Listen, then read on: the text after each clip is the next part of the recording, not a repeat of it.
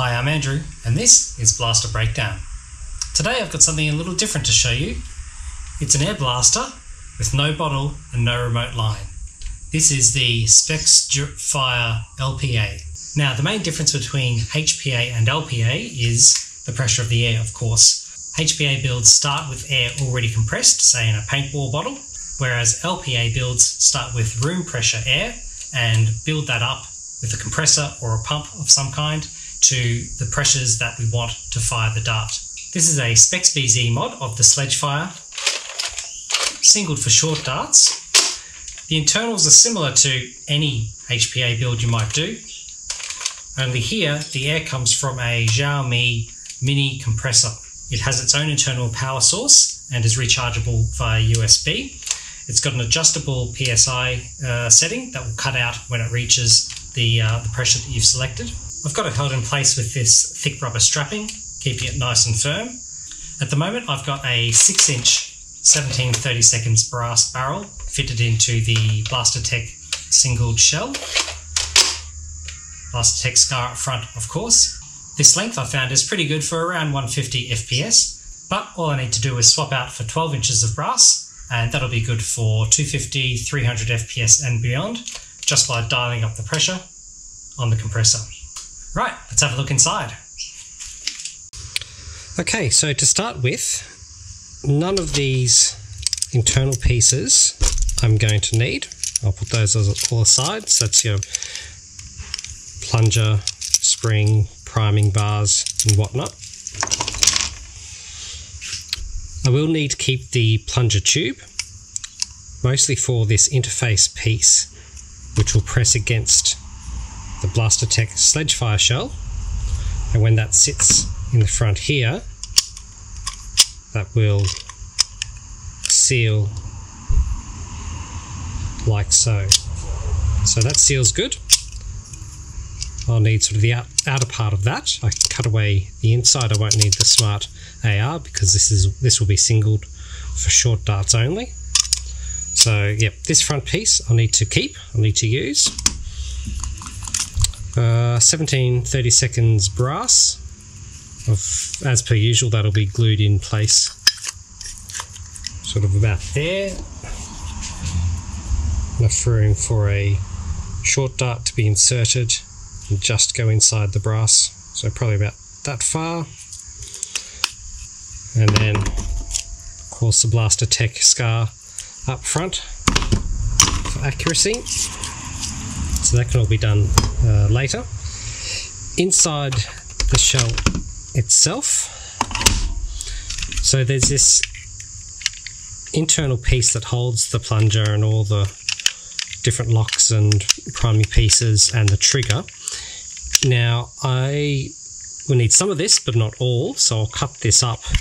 What I will need is the part that holds the trigger in place and maybe some of this section that holds the plunger tube itself though I'll see how I go with that. So that'll get some work done. The front barrel release that's as per usual. So I'll, I'll keep that exactly as it is. I've removed some pieces down here because that attaches to the priming bar so I don't need that.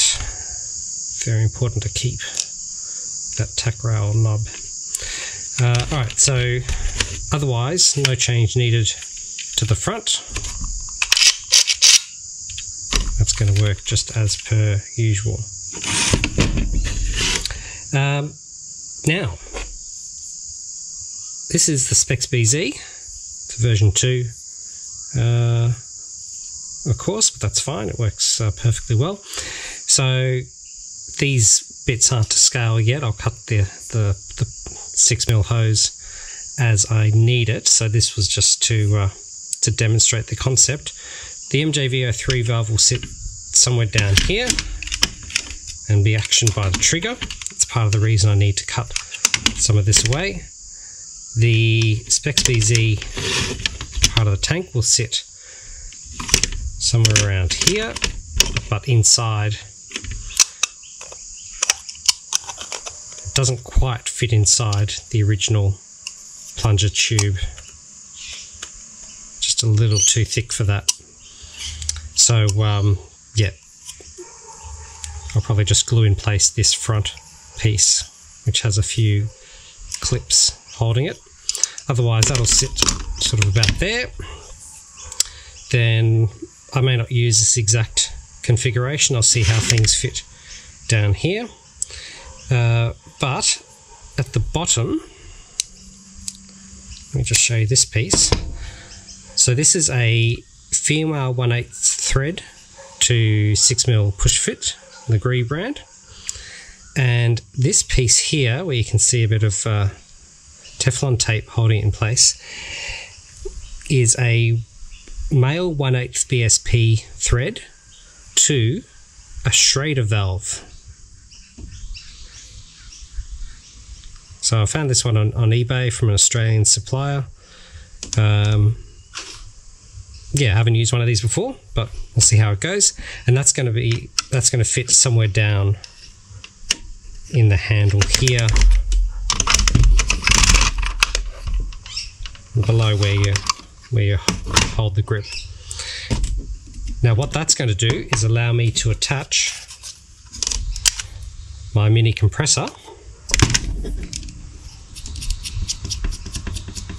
Which screws on like so. Then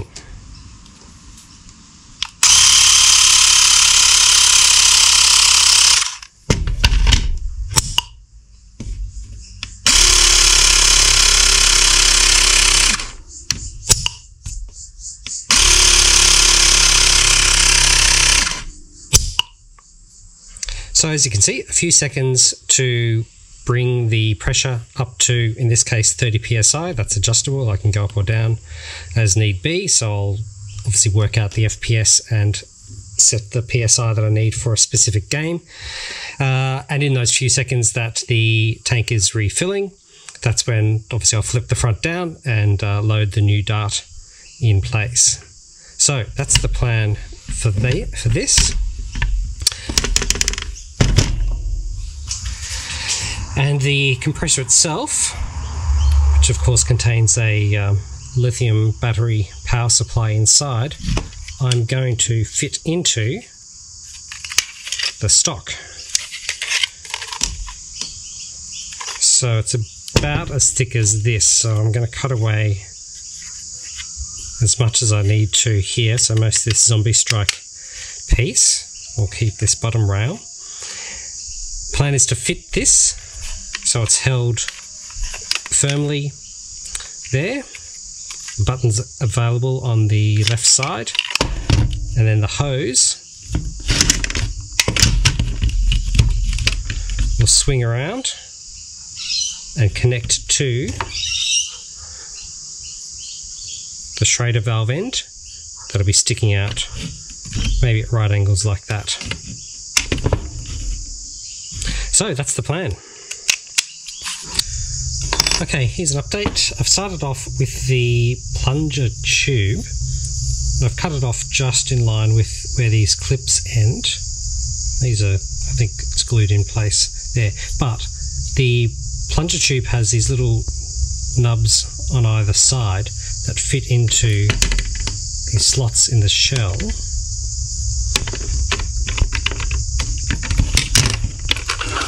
And that, the, and that whole thing will keep front part of the plunger tube exactly aligned. So I thought I want to keep those. What I've done is this coupling piece at the front of the Spex BZ, I've cut away. This piece holds the Smart AR system uh, normally. So I've cut away the exact right shape. So not sure if you can see in there, but the front coupler piece of the Spex BZ sits just inside that plastic I've cut away. So I know that's exactly aligned. So I can fit that in place and I'll know when I slot this in with the nubs in these slots that'll be uh, really well aligned. uh, so that'll help hold the Spex BZ solid. I'll use a screw post here, need to cut away a bit here I think, um, but that's only an internal one, not for the external shell.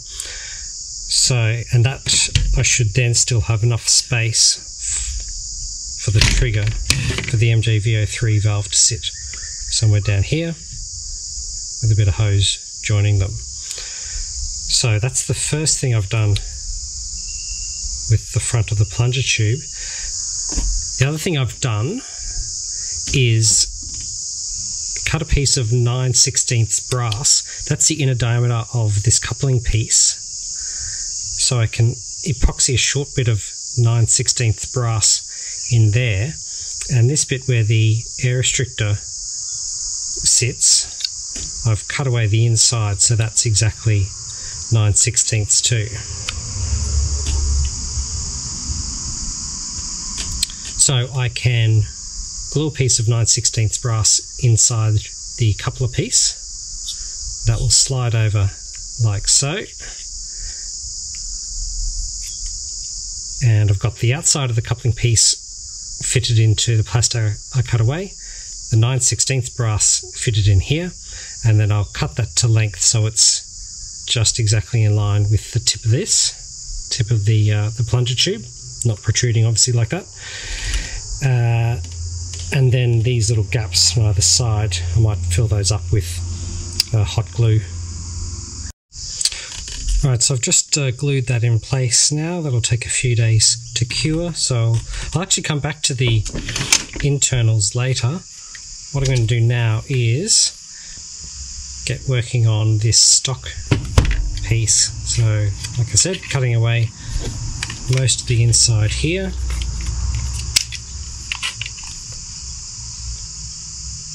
And having it so that the hose can reach around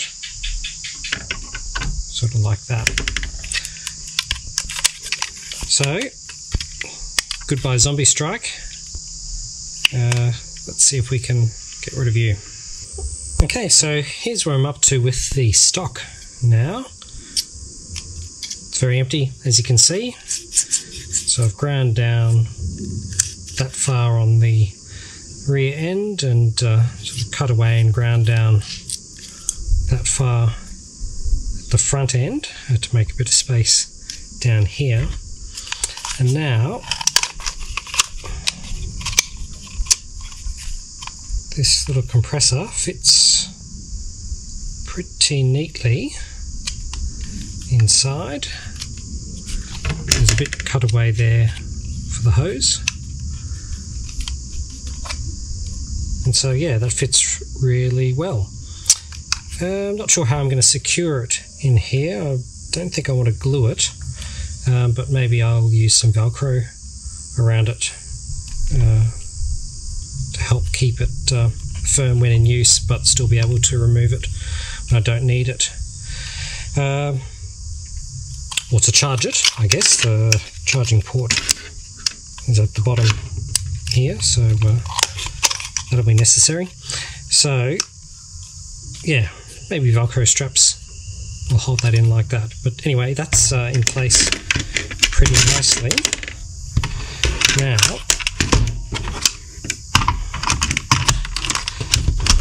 that's going to, well, so the stock's going to fit in like that.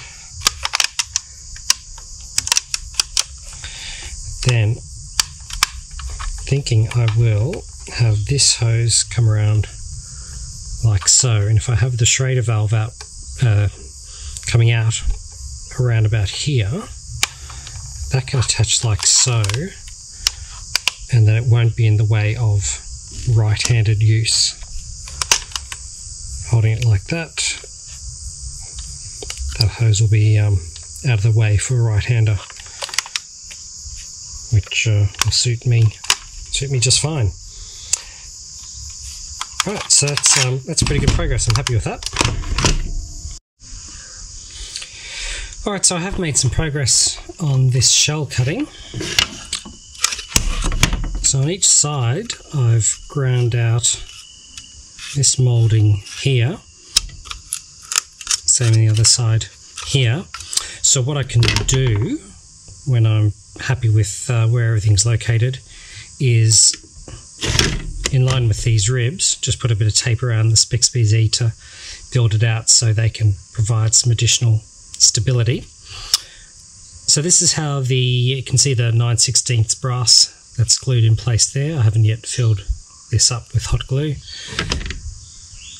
And these two little nubs will fit into these slots. So that seems pretty good.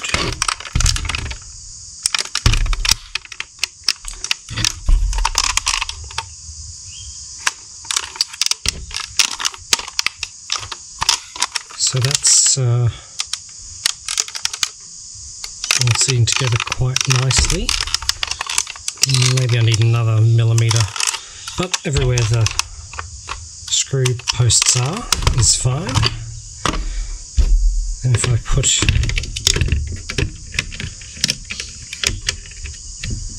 the front barrel attachment in like so,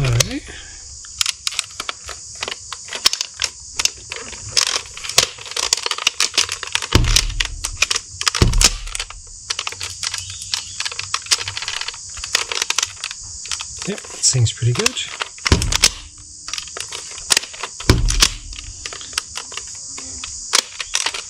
Yeah, pretty happy with that. Maybe a tiny bit of shaving for some fine fine tuning, but uh, for the most part, I'm pretty happy with how that sits. Okay, it's been a few days and I've gotten some good work done. One thing I did was my original plan was to have the airline coming in sort of in line down here somewhere. So the hose would be like that.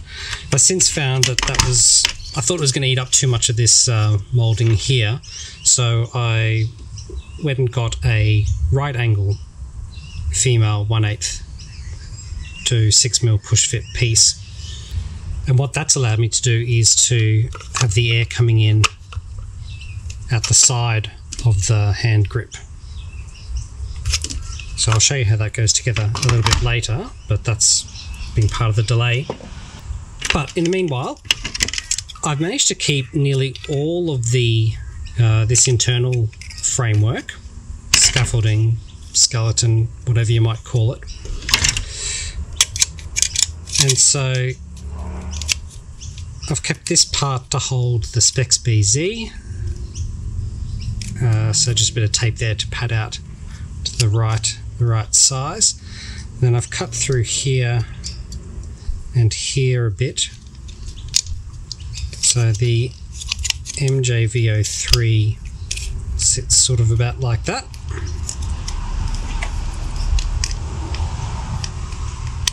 The trigger in its normal place then activates the valve button. Uh, so that was pretty good. So there's various points around this framework that slot into different parts of the shell. So by keeping that, hopefully that'll keep the internals uh, a bit more stable, a bit more secure. So now when we slot that in like so, it fits in at various points. You can see there's one post here that I've ground down so it still slots in hole and stops it from moving but it's more or less flush with the inside of this part same thing on the other side obviously cutting away for the back of the Spex BZ and then just making space on the inside for the MJV03. Now that fits in like so. Trigger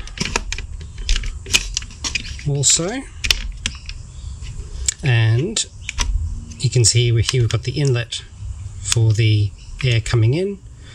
Uh, just a really short piece of 6mm hose between these two push fits. That'll be tricky to uh, undo if I ever need to Uh, and then the top part just uses three of the original clips to slot in place. And then when the left shell goes in place, it also has mouldings that hold this half of the inner frame in place so it's nice and secure. So that's really good. All I need to do then is uh, slot in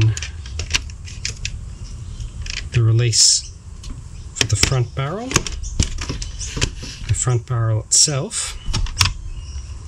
Oh, and then the stock.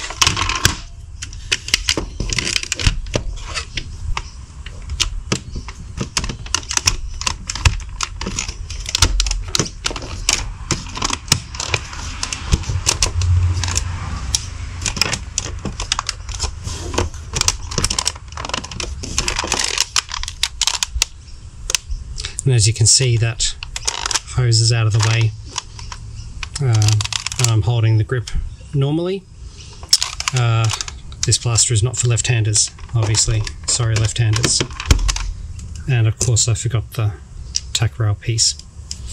So uh, yeah, okay, I'll go ahead and uh, screw this all together. We'll see how it looks with the uh, with the compressor in place.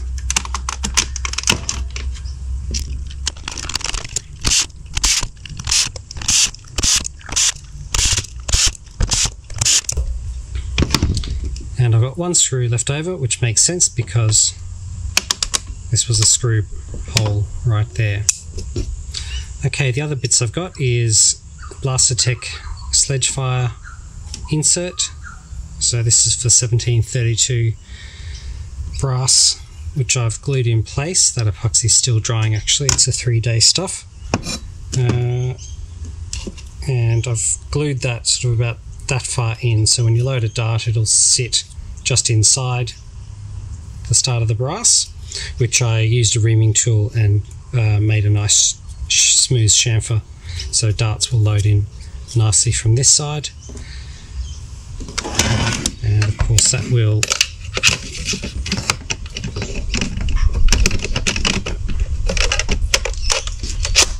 that will stay in place like that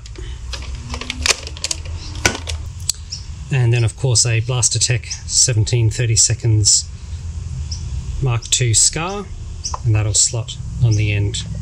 I won't fix that in place just yet. Uh, might do some experimenting might need to cut the length shorter depending on what my uh, FPS is like. So that works nicely. The compressor then that one. Just screws onto here.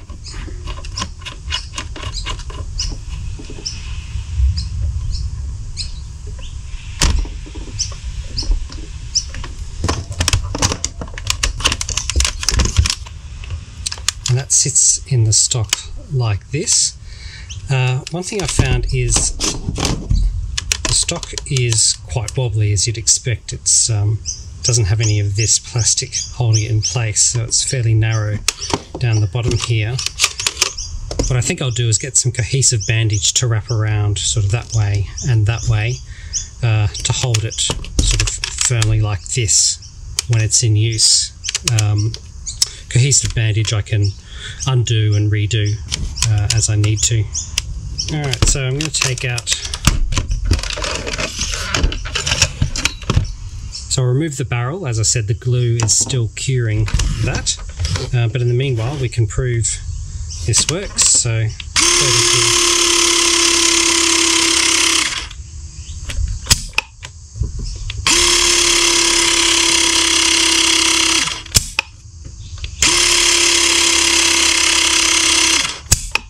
So that's about three or four seconds to get us up to 30 psi. I don't know if that's going to be the um, operating pressure that I want to use um, for super stock or ultra stock or NIC level events. That'll come with a bit of testing. But if, for example, I wanted to go up to 50 psi, uh, it'll obviously take a few seconds longer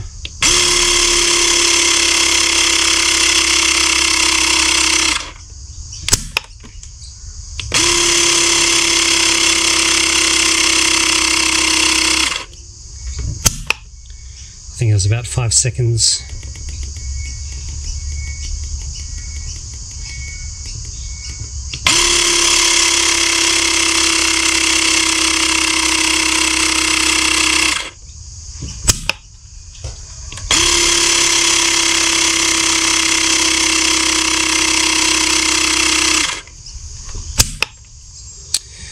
So as you can see, it's uh, probably about one second per 10 psi to uh, to fill.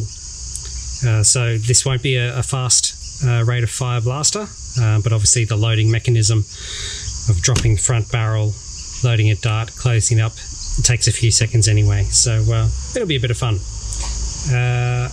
okay, next thing is once this glue is cured in a few days, um, I'll get some FPS readings and do a firing demo and we'll see how it goes in practice and uh, if I need to adjust the barrel length I'll do that then. Okay so here we go with the LPA bottle on Sledgefire.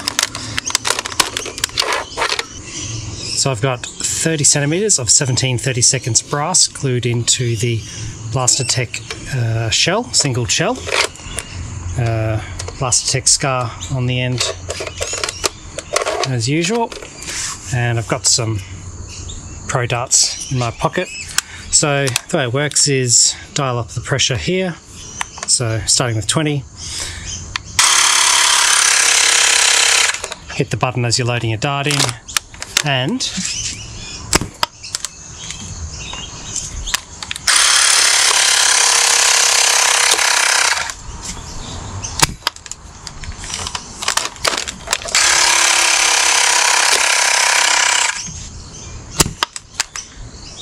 246 at 20 psi. Might drop it down to 15 and see how we go. Not sure if that comes through.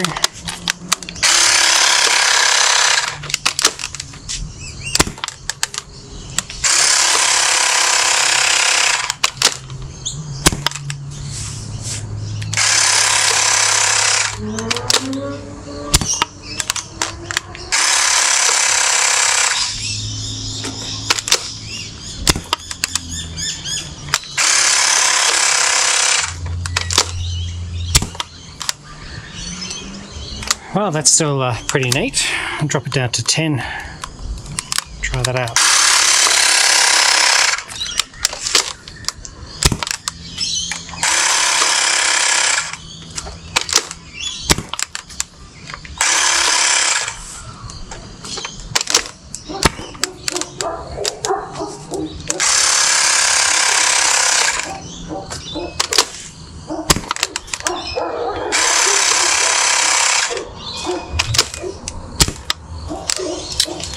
Right, I think uh, I think this is a little bit inaccurate at low psi. There were some shots there that were 200, some were barely over 100. That was at 10 psi. I think I might aim for operating at maybe 15 psi and shorten this barrel down, uh, aiming for 150 fps at that psi, and then for higher uh, FPS events, I can just bump up the pressure further there. But uh, proof of concept, that's a uh, pretty neat result, I think. I'm happy with that. Okay, I've now cut down this barrel to six inches. That should be long enough for anyone. So uh, everything else is the same and 15 psi. Got some ACCs. Let's see how we go.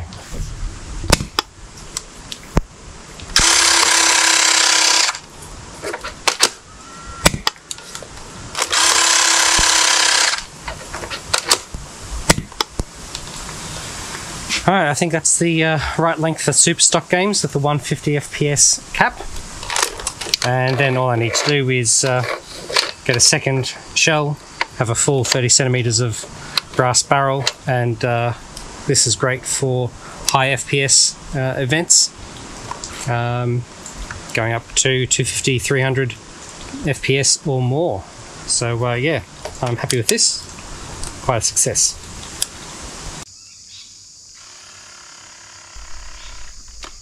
Here I am 50 feet from the target, now using the 6 inch barrel and 15 psi.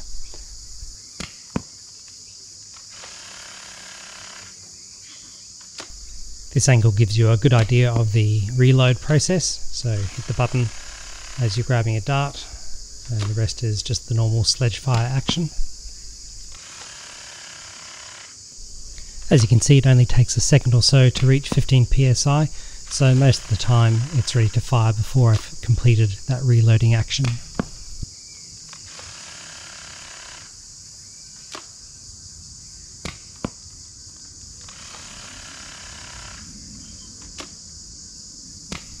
I'm really pleased with the accuracy here. I think this blaster will be quite fun to run in our single shot rounds at Superstock Wars.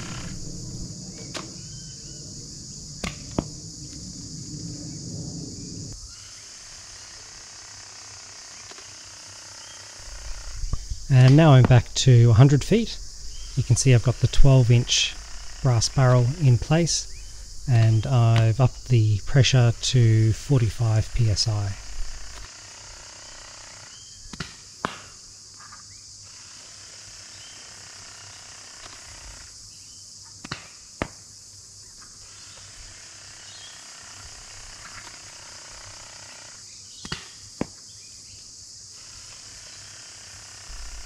I'm using ACC 3 darts here. I did have a few decaps, so uh, I'd be interested in testing with some Nexus Pro darts that I've got on order. Hopefully they'll be a bit more consistent.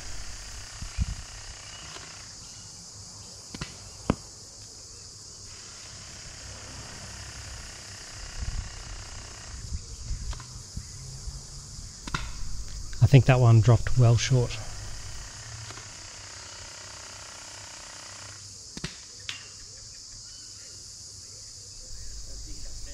And let's see if I can get this last dart on target. Nice. So there you have it. That's the Spexdgefire LPA, a SpexBZ mod of the Nerf Sledgefire, powered by an onboard battery-powered mini compressor. I hope you've enjoyed this build video. Please leave any questions and comments below. I took a lot of inspiration from the MTB uh, XBZ mod of the Sledgefire from a couple of years back. I'll put a link to that video in the description below. Thanks for watching. I'll see you next time.